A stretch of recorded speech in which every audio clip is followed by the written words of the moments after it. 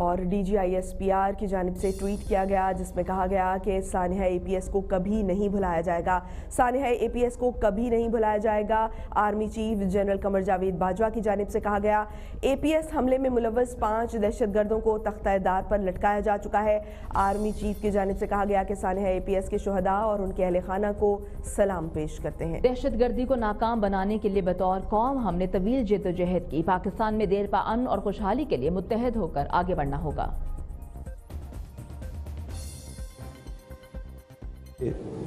ہمارے جوان ہر وقت اس ملک کے لیے اپنی جان نچھاور کرنے کو تیار رہتے ہیں۔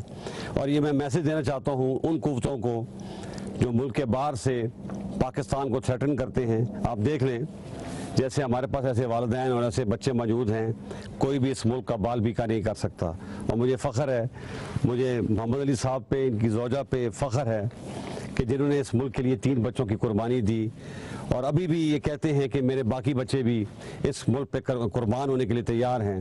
تو آفرین ایسے والدین پر اور ایسی والدہ پر، ایسے والد پر جو اس ملک کے لیے اپنا تن من سب کچھ نشاور کرنے کو تیار ہیں۔ اور جب تک ایسے والدین اس ملک میں موجود ہیں، مجھے پورا یقین ہے کہ پاکستان